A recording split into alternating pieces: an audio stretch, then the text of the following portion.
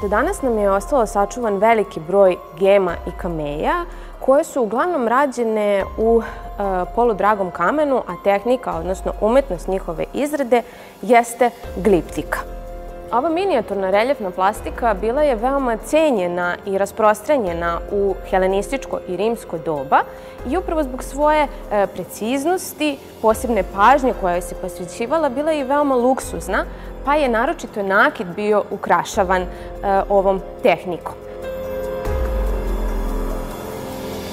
Kameje možemo reći da su rađene u jednom e, visokom reljefu, dok su sa druge strane geme praktično urezane u površinu.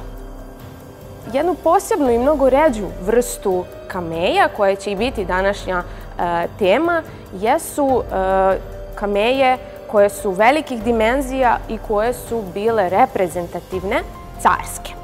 I upravo zbog toga što je na njima predstavljen samo car, odnosno imperator i njegova najuža porodica. One su dakle služile da se prenese državna ideologija, e, različite poruke dakle carevim podanicima. E, zbog toga se ove kameje još nazivaju i e, državnim i naravno mnogo su ređe od onih koje se mogu videti na nakitu.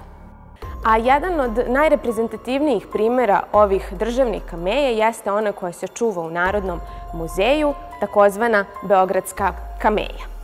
Ona je pronađena u Kusadku, selu u blizini Mladenovca i u Narodni muzej dospela je 1898. godine i od tog momenta poznata je kao Beogradska kameja. Na njoj je naime predstavljena jedna veoma važna ličnost koja je nama poznata kao car Konstantin Veliki, o kome smo mi nedavno e, i govorili.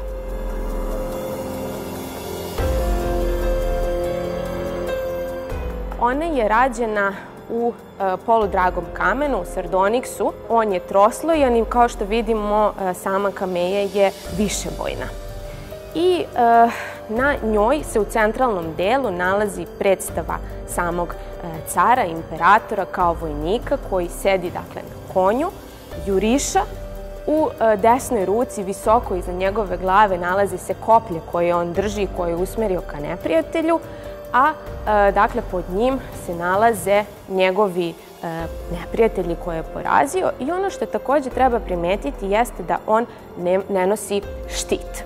Ovaj carev triumf E, po svojoj prilici predstavlja njegovu pobedu nad Gotima i Sarmatima, što nam pomaže da smestimo ovu kameju, tačnije njen nastanak, u period između 334. i 337. godine. Međutim, ovo ne mora biti jedan konkretna istorijska pobeda, jedan konkretan događaj, već ona može predstavljati, kao i na drugim kamejama, kako se javljalo, jednu celokupnu Konstantinovu e, pobedu, odnosno nizove njegovih pobeda, počevši od dolaska e, na vlast, zatim sazivanje i prvog e, Vaseljanskog sabora u Nikeji, takođe i podizanje nove prestonice Konstantinopolja i naravno svih onih ratnih podvika.